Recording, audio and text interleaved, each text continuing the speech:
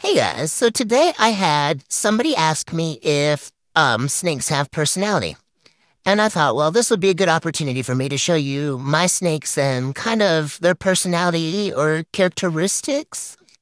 Um, now, before we get started, we are talking about the snakes that slither on their bellies, not the ones that walk upright on two legs that you're kin to.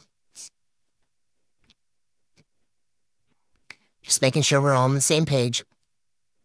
Anyways, let me flip this camera around and I will show you what I'm talking about as far as personality. All right. So over here we have a hognose snake.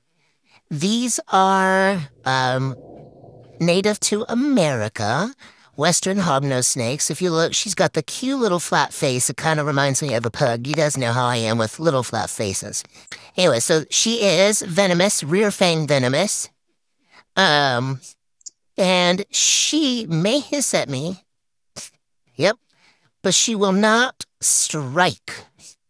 So I can pick her up. All right. She's pretty docile. So cute. All right. But now her sister, who was from the same clutch, you'll see, is a little bit more uh, sassier, feisty, uh, whatever you want to call it. Let's see where she is here. So, yeah, You'll notice she is flattening her neck to make herself look bigger. She may also spit and false strike. And you'll also definitely hear her hiss. You hear her? Let me see if I can get. Oh, here she goes.